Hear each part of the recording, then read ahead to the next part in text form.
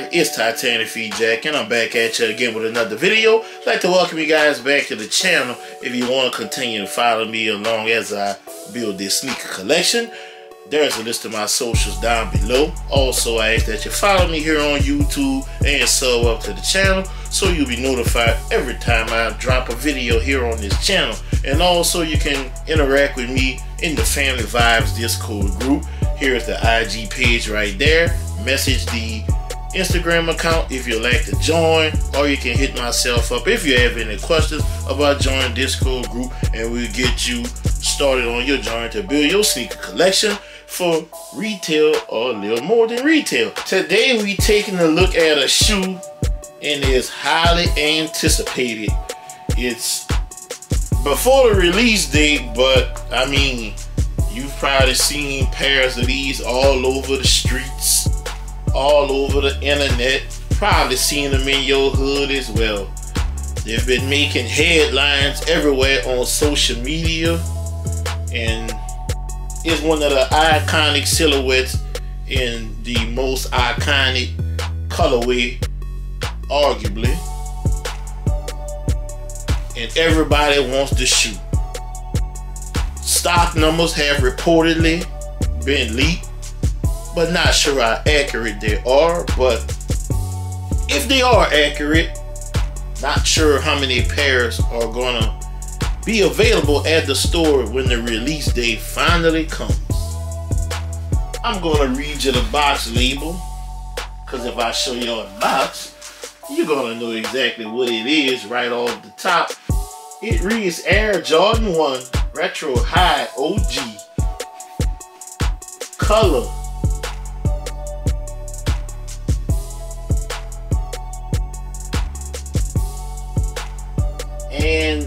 I give a style code DZ, that's Delta Zulu 5485 612. Alright, enough of the playing around. Let's go ahead and give y'all that color. Y'all can see a little bit right there. the color is varsity red, black, silk, and muslin. Inside the box top. Here you go, a lot stamp. It's right there in red. And I'm just gonna show it to you. Y'all know what that is. We're gonna take a look at the paper. Y'all see the paper, like a sales paper back in 1985. I'm not sure how many of these sneakerheads were actually living back in 85, but I know I was. Fold it over. Got white paper times two. Look in here. Y'all see that YDM sticker? And underneath all the paper, I'm gonna let y'all see y'all. yourself. I'm not gonna even touch it. There you go, the receipt from 1985, guys. Enough for all the packaging and the goodies. Let's go ahead and look at the sneaker. Here we go, ladies and gentlemen, the Air Jordan Retro 1 High OG Lost and Found. I once was lost, now I'm found, was blind, but now I see. And I see something that looks really good, guys comment below. Let me know your thoughts on this sneaker. Let me know what your plans are for this sneaker. And uh, I was on the fence because I still have the Spiders dead stock, and I still have my 2015 Chicago's dead stock as well. But shout out to the homie, my kick sick. You know my kick sick. That's the homie. Kick squad. That's how we do kick squad he hooked this trade up for me. I've managed to trade for these at the home is Lavish Life Sneakers up there in Biara. Shout out to them as well. When three minds come together, we do good things, and this is what we came up with, baby. So we're gonna get into the review. This shoe is made on a white base, a white base. And you have your red on your overlays, your red on your, your varsity red, I should say, on your overlays. You have a Jordan Wings logo branded on in black right there. You also have a black Nike swoosh. And here we go with the black right here around the ankle and a little cut right here. It is cracked leather, guys. This would makes the sneaker called the Lost and Found. They were going for a vintage look. This is what a sneaker would look like in their mind if it was made in 1985. And we are now in 2022.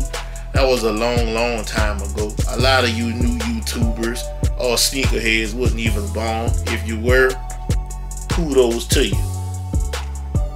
Looking at the midsole, you have that muslin colorway or sail on the midsole, and you have that varsity red at the very bottom. And looking at your outsole, this is how it looks. It looks like it's worn, white, like it's been sitting in an old hot, dusty warehouse for about 30 years or so. But it's still stitched together and held up. This is the heel. Give you guys a better look of the heel collar. The black cracked leather on here. It looks really worn. But this is the design that we're going for. And you can see a little bit of it right here as well on the medial side of the sneaker. There you go if y'all can see that. Also on the medial side of the sneaker, you have that varsity red on your overlays as well and you have a black Nike swoosh and you have that white on your quarter panels. Sail or muslin colorway on the midsole with the varsity red at the very bottom. And here's a good look at that toe box, guys. There you go. Look at the toe box. It reminds me of the Visionaire. Basically, this is a Jordan 1 Visionaire by a show of hands, how many of you guys passed on the Visionaires but plan on getting this sneaker? This is the same daggone sneaker pretty much. But this is the toe box. That's the leather. Let's see. Let's get this tissue out of here first. Come stuff with tissue.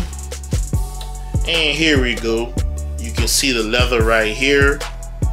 It looks wrinkled like it's from 1985 it comes with two sets of laces, and this is how they did it. You have the sail or the white in the first holes or the first eyelets, and you have the black in the second eyelets. You have a muslin colored tongue, nylon tongue, and you have that varsity red woven patch with the Nike Air branding and the muslin colorway.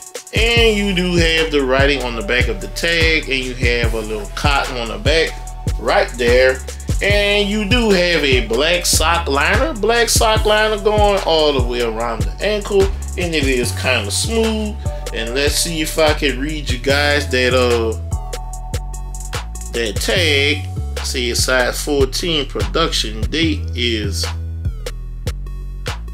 March the 24th of this year to July 29th of this year. So about four months of production with these see if I can let y'all see.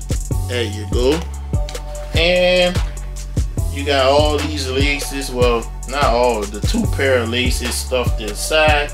We're gonna get that uh insert out. We have a white insert, varsity red Nike Air branding at the heel, and you do see that sticker on there, side 14, Team Sasquatch, stand up. And on the bottom, you have that Dream Cell insert. And you can see the thickness of it. But this is the sneaker. So let me know what y'all think of this sneaker in the comment section. And let me know your plans about this sneaker. And there's a rumor going around that EA is coming out for this sneaker.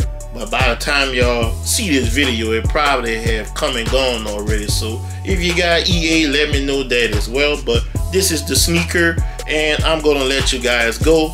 Like I always tell you, if you can help somebody get a sneaker, help them get that sneaker because you never know when it will be your turn to need help getting a sneaker.